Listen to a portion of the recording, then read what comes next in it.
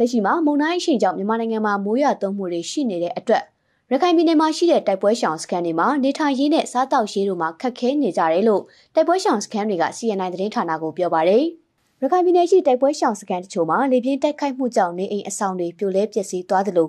မီးလောင်သွားမှုကြောင့်နေအိမ်အဆောင်တွေလုံးဝဆုံးရှုံးခဲ့ရတဲ့ဖြစ်စဉ်တွေရှိခဲ့ပါတယ်။အဲ့ဒီပျက်စီးဆုံးရှုံးသွားတဲ့နေအိမ်အဆောင်တွေကိုပြန်လည်ဆောက်လုပ်နေကြောင်းဒါပေမဲ့လည်းမပြီးစီးသေးတဲ့အတွက်ကြောင့်အခက်အခဲဖြစ်နေကြောင်း တိုက်ပွဲရှောင်စကန်တစ်ခုမှမအေးခိုင်က CNN သတင်းဌာနကိုပြောပါတယ်။သူတို့ပြည်တဲ့မိုင်းခင်တော့မှဒီကဲမှလူတွေလူအဲ့ဒါနဲ့မကိုက်ညီဘူးလေဆရာမကြီး။ဒီမှာဟိုတချို့တအင်းဆိုလို့ရှိရင်အင်ကမောနဲ့လှန်တယ်လေးရှိတယ်ထရင်နေမရှိတယ်လေးရှိတယ်။သူတို့ပြည်တဲ့ကဝတ်တရားဆိုလို့ရှိရင်မိုင်းခင်တော့စကန်ကလူတွေမကဘဲနဲ့အခြားစကန်တဲ့လူတွေလည်းဒီအတိုင်းပါပဲမလုံမလောက်ဘူးဆရာမ။တချို့ဆိုလို့ရှိရင်လာအောင်မလားလာအောင်မလားစောင်းနေတည်တယ်ဝါကိုလေ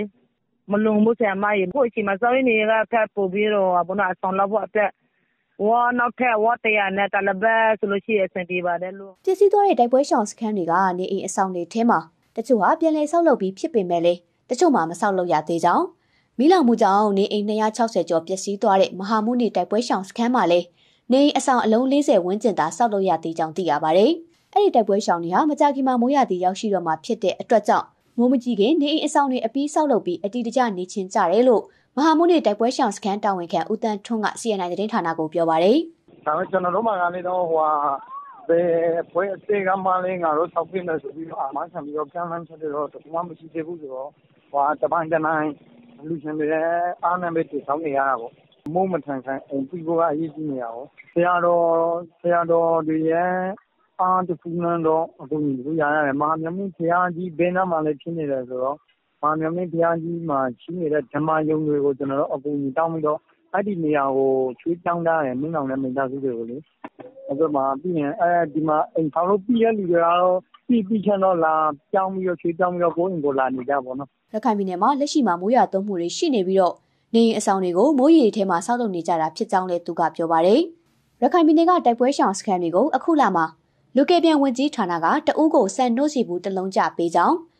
WFP မှာလာစဉ်တိုက်ပွဲရှောင်တအူကို18000ကျပ်ပေးကြောင်းဒါပေမဲ့လည်းအိမ်ဆောက်လုပ်တဲ့အခါမှာဝါးတွေမလုံလောက်တဲ့အတွက်ကြောင့်အဲ့ဒီပတ်စံနဲ့ဆက်မဝယ်ပဲဝါးတွေဝယ်ရကြောင်းသိရပါတယ်။ကျန်တဲ့ရိတ်ခါပါဟန်ချိုအဲ့အဲ့လို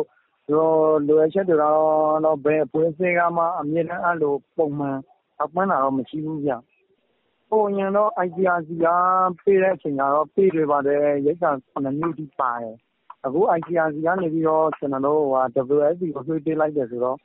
WFP က လူတယောက်ကို တလကို ၁၈,၀၀၀ နဲ့ ထောက်ပံ့တယ်ဗျာ။၁၈,၀၀၀ ဆိုတာ လူတယောက် ထမင်းတနပ်စားဖို့အတွက် ၃၀၀ လောက်ပဲ ရှိနေတယ်။၃၀၀ မှပဲ ၁၈,၀၀၀ဖြစ်မှာပေါ့ တလကို။အဲလိုဆိုတော့ ၃၀၀ လောက်နဲ့ အခု ကုန်ဈေးနှုန်းနဲ့ကတော့ ဘယ်လိုပဲ တွက်ကြည့်ကြည့် အဲဒါအာမလုပ်တဲ့ ပုံစံမျိုး ဖြစ်နေပေါ့နော်။”ရခိုင်ပြည်နယ်မှာ ဧပြီ ၂၀ ရက်နေ့က မိုးသက်လေပြင်း တိုက်ခိုက်ခဲ့မှုကြောင့် တိုက်ပွဲရှောင်စခန်းအများစုရှိနေအိမ်အဆောင်တွေပျက်စီးသွားခဲ့ကြောင်းမေလ9ရက်နေ့နနက်အစောပိုင်းကလည်းမဟာမုနိတိုက်ပွဲရှောင်စခန်းမှာမီးလောင်မှုဖြစ်ပွားခဲ့တဲ့အတွက်နေအိမ်262လုံးမီးထဲပါသွားခဲ့ကြောင်းလည်းသိရပါတယ်။